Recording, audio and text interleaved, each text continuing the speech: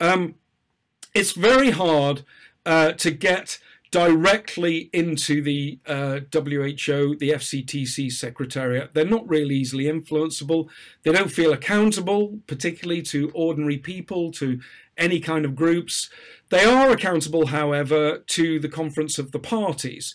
So I recommend if you're in Malaysia, you deal with the Malaysian government. If you're in um, Indonesia, you deal with the Indonesian government, and you focus your energy on capitals. That's on the capital of, you know, basically the health departments in your country.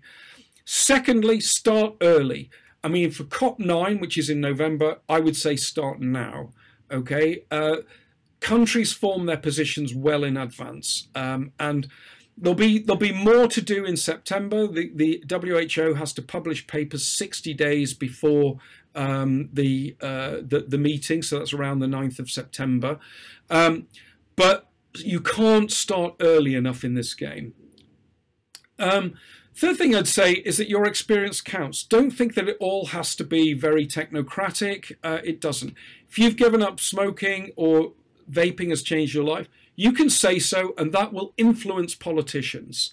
Um, there's I would say there are just unlimited things that you can do in this space. You can write letters to governments, you can write letters to newspapers, uh, you can make it known uh, to the delegates who go to the FCTC. My advice is to get busy.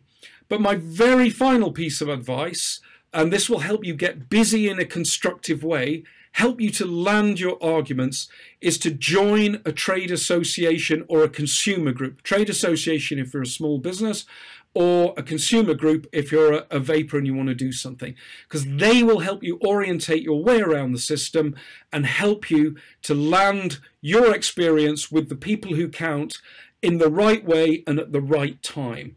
And a little bit of money put into those groups is a good idea. So pay up, get your hand in your pocket and pay some subscriptions, but that will help you to be effective.